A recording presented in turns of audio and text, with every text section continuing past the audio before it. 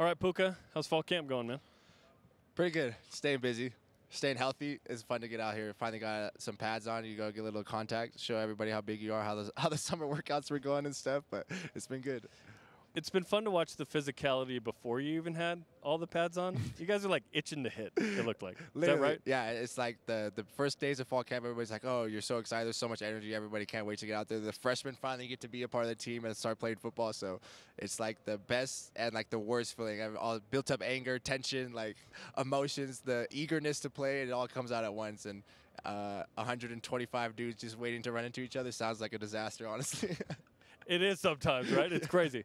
Um, talk to me about this fall camp coming in healthy for the first time in your college career and kind of what difference that's made. Uh, it's been so fun to like be active, a part of the stuff, and like to come into meetings and like not be stuck like in in the training room doing rehab and stuff like that. To be a part of all the events, getting all the reps in, um, and just to be fully engaged. Um, in the game of football and then be fully engaged with my teammates. There's a tendency when you have injuries or stuff, is like I want to isolate myself. It's me going through this. It's not uh, none of my teammates are going through this, but uh, it's been nice to be a part of that and then just to kind of see some of the teammates who might have been going through injuries or something that I've been similar, and then be able to reach out to them and be like, hey, everybody's kind of had that injury phase or something that is kind of holding you back, but it's it's time for football. We got we got four weeks of football, and you got to enjoy it while it's here. Last year it was on the DL that you had a hamstring. You didn't play in the Arizona game. How quickly did it take you to get fully healthy in the season? Um, kind of hard. I mean, you, you, you once season starts, it's kind of hard to say what healthy is. You know, you take you take your nicks and bruises during the season, but uh, I wouldn't say it was much longer after that. It was nice. So we we got our staff uh, was able to help me get right, and then once season starts, that's kind of enough energy sometimes to get you out of bed, and whether you're whether you're healthy or not. This year at BYU, having a second season, what kind of difference do you feel in terms of uh, comfortability with the quarterbacks, with the line, with the playbook, and so on? um, like ultimate comfortness. They probably feel uncomfortable sometimes. How uncomfortable I feel in the locker room. We, uh, these are my brothers. Like I lost Samson, so these guys are they they are they are taking place. 125 guys are taking the place of Samson for me. So my it takes that minute. kind of. It probably would take more.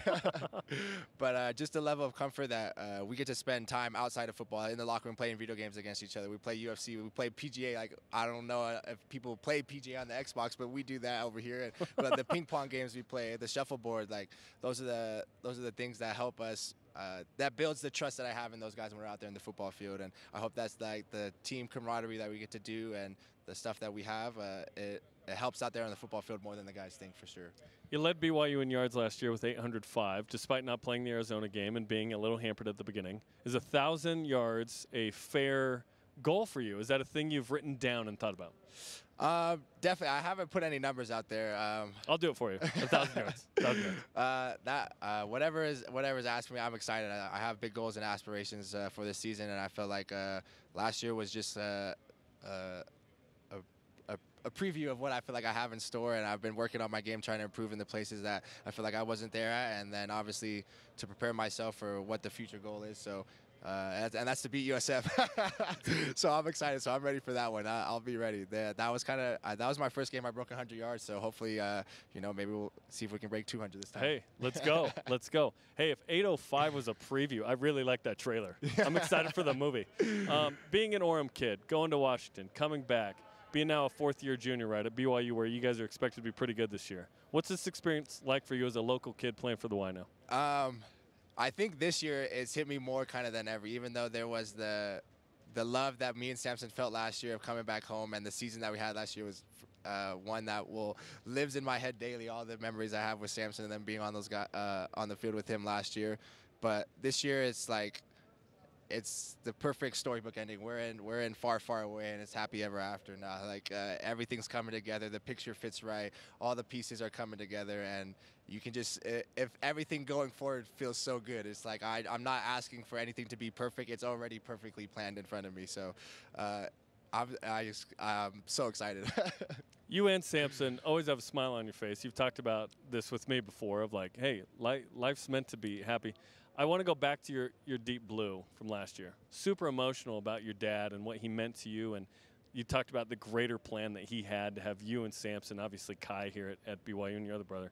Um, what's it like to know, hey, Dad had this plan, and here we are living this out. Um, it's it's surreal sometimes, and uh, the blessing that um, it's been to to be here in this moment now and to kind of see the the plan that he had. Um, it feels good, at, um, but there's always that kind of the thought of I, I wish he obviously he was here to see the the plan that he had envisioned so long ago kind of come together. And it's it's odd how the things that he would have mentioned uh, I've seen happen in front of my eyes and in my life, and I've been the the benefits of uh, the things that he had planned out there. But and then just a blessing to be uh, with my family, like the journey that we've been through. My mom, um, she she's she's done it all. Uh, she wasn't she wasn't she didn't know what to do, but she got us here, and uh, it's all been part of a surreal plan. But extremely extremely blessed to be where I am. But uh, Dad, you, you you planned it right for sure.